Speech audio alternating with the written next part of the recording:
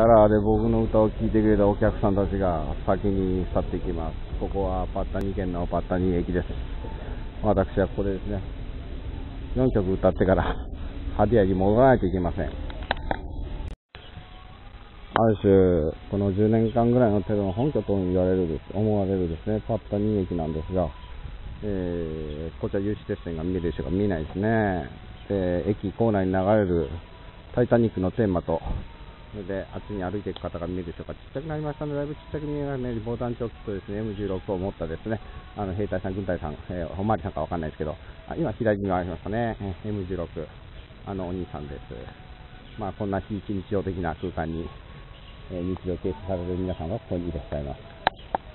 そして、この、えー、ちょっと限界体制っぽい、あの、M16 持った、あの、兵隊さんが守るパッタニー王国のパッタニー、元パッタニー王国のパッタニー駅で発見した、この売店ですね。何が素敵かってですね、バシービスケット、いつかピーナッツ好きですからね。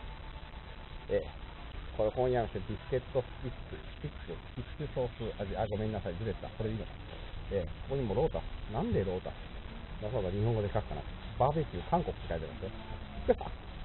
すごいですね。こっちですね。問題は、ナムラ。こっちスパイシーソーサージですね。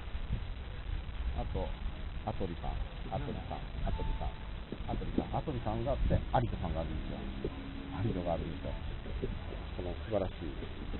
ど、どこまで広がるこの日本語って感じですね。一種のちょっとクレオールみたいな感じになってますけど。それでは皆さん、さよなら。うーん、本当まれを。本当まれをか นตกมาแล้วครับฝนตกมาแล้วครับผมมีลูกแล้วครับ เอากลับผมมีลูกแล้วกลับ ねあの雨が降ってるんですね、私に子供が与えられました。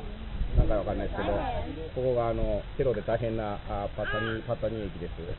えーあの後ろの方に、後ろの方にあの M16 に持ったあの兵隊さんが見えると思いますが、えー私に子供ができたというですね、ご報告で、えーバイバイ、バイバイ、バイバイ、バイバイ、バイバイ、バイバイ。